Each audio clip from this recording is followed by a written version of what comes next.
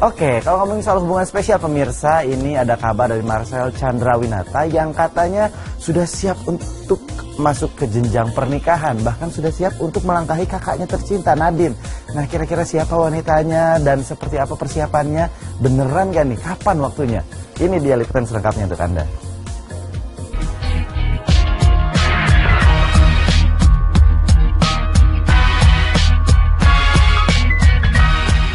Setiap pasangan yang tengah menjalin asmara tentu menginginkan bila jalinan cintanya bisa lanjut hingga ke jenjang yang lebih serius, yaitu pernikahan.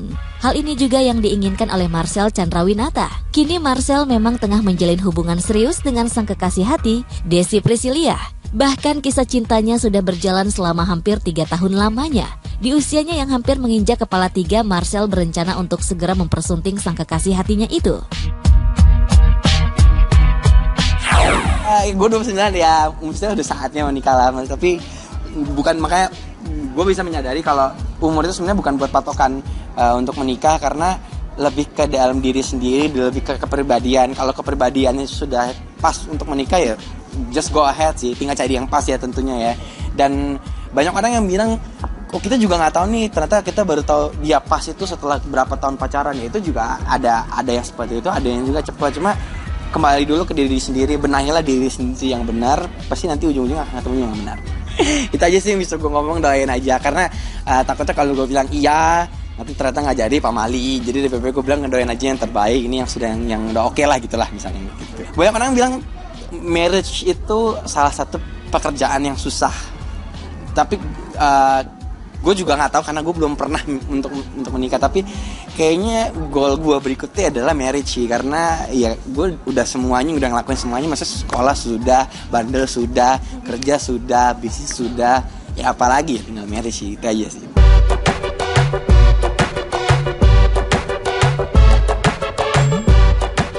Marcel memang bisa terbilang cukup tertutup seputar hubungan asmaranya dengan Desi.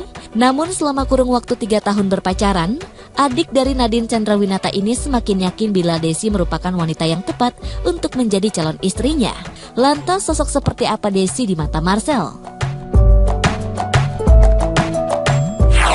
Seperti yang tadi gue uh, bilang, karena harus cocok dengan kepribadian gue intinya tuh sebenarnya itu karena gue ini orangnya bersemangat gue suka bertemu dengan orang-orang baru suka uh, bercanda kurang lebih paling nggak dia harus bisa mendekati dengan kepribadian yang seperti itu. Ya kalau kita katakan itu kepribadian yang bersinar lah. Kenapa? Karena setiap kali kita bertemu sama dia enak gitu loh. Rasanya tuh uh, bukan hanya sebagai karena kalau orang pacaran dibilang pacaran itu setahun pasti bosen.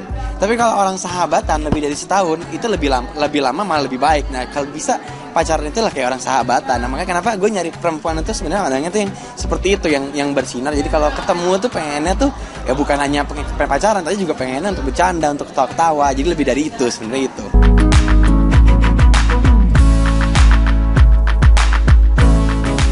Keinginan Marcel untuk segera mengakhiri masa lajang memang sedikit terbentur dengan sang kakak, Nadine Chandrawinata yang hingga sampai saat ini belum juga menikah.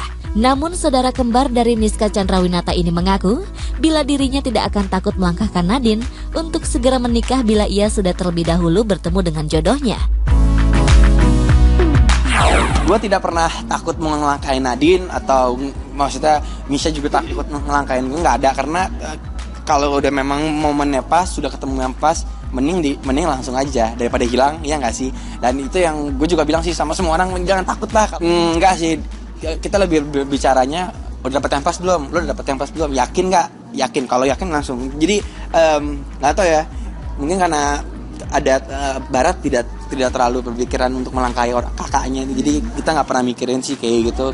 Uh, kalau gue pun karena ya Nadine masih traveling terus sih. Ya itu salah satunya. Jadi memang harus ada pengorbanan lah. Kalau misalkan emang suka traveling ya susah untuk cari uh, ya ini gue ngomong ke Nadine nih susah cari cowoknya Din gitu. Jadi mendingan tinggal di Jakarta. Jadi kayak gitulah. Jadi harus ada yang dikorbanin. Dan gue makanya mengapa gue juga mengorbankan untuk mungkin tahun depan gue nggak ikut lagi dengan uh, pulang uh, pulang malam atau apa. Karena gue pengen lebih settle lagi hidupnya. Jadi gitu sih pengorbanan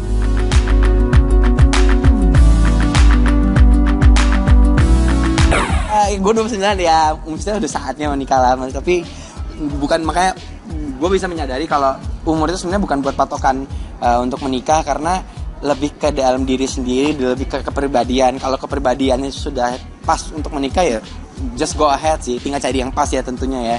Dan banyak orang yang bilang kok kita juga nggak tahu nih ternyata kita baru tahu dia pas itu setelah berapa tahun pacaran ya itu juga ada ada yang seperti itu ada yang juga cepat cuma kembali dulu ke diri sendiri benahilah diri sendiri yang benar pasti nanti ujung-ujungnya akan ketemu yang benar. Itu aja sih yang bisa gue ngomong doain aja karena uh, takutnya kalau gue bilang iya nanti ternyata nggak jadi Pak Mali. Jadi DPP gue bilang ngedoain aja yang terbaik ini yang sudah yang, yang udah oke okay lah gitulah misalnya gitu. Banyak orang bilang marriage itu salah satu pekerjaan yang susah. Tapi uh, gue juga nggak tahu karena gue belum pernah untuk untuk menikah. Tapi kayaknya goal gue berikutnya adalah marriage sih karena ya gue udah semuanya udah ngelakuin semuanya masa sekolah sudah bandel sudah kerja sudah bisnis sudah ya apalagi ya tinggal marriage sih itu aja sih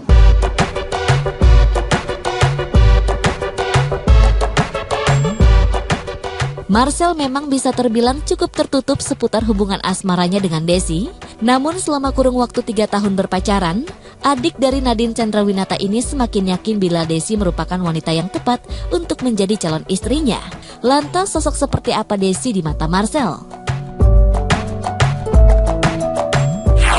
Seperti yang tadi gue uh, bilang, karena harus cocok dengan kepribadian gue intinya tuh sebenarnya itu karena gue ini orangnya bersemangat gue suka bertemu dengan orang-orang baru suka uh, bercanda kurang lebih paling nggak dia harus bisa mendekati dengan kepribadian yang seperti itu. Ya kalau kita katakan itu kepribadian yang bersinar lah. Kenapa? Karena setiap kali kita bertemu sama dia enak gitu loh. Rasanya tuh uh, bukan hanya sebagai karena kalau orang pacaran dibilang pacaran itu setahun pasti bosen.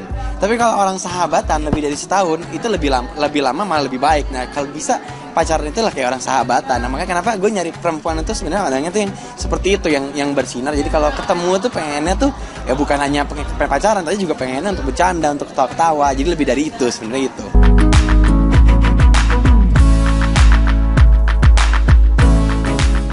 Keinginan Marcel untuk segera mengakhiri masa lajang memang sedikit terbentur dengan sang kakak, Nadine Chandrawinata yang hingga sampai saat ini belum juga menikah.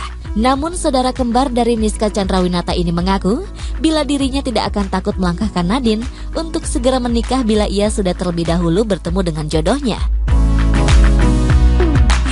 Gue tidak pernah takut melangkahi Nadine atau maksudnya Misha juga takut melangkahin gue nggak ada karena eh, kalau udah memang momennya pas sudah ketemu yang pas mending di mending langsung aja daripada hilang ya nggak sih?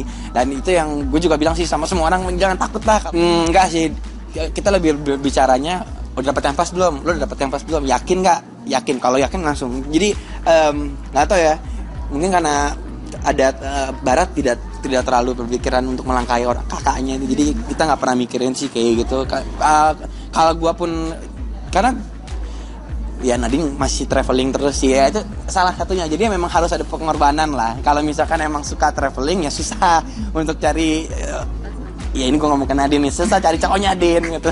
Jadi mendingan tinggal di Jakarta. Jadi kayak gitulah. Jadi harus ada yang dikorbanin. Dan gue makanya mengapa gue juga mengorbankan untuk mungkin tahun depan gue nggak ikut lagi dengan uh, pulang uh, pulang malam atau apa. Karena gue pengen lebih settle lagi hidupnya. Jadi gitu sih pengorbanan